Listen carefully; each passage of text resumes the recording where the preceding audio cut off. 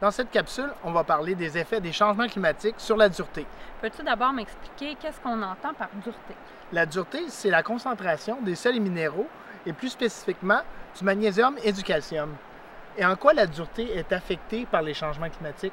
En fait, on va parler d'épisodes météorologiques extrêmes Mhm. avec les changements climatiques, donc des périodes de sécheresse qui vont être suivies de périodes de fortes pluies, ce qui fait diminuer le pouvoir de dilution des cours d'eau parce qu'il y avait moins d'eau dans les cours d'eau pour diluer une grande quantité de sels minéraux.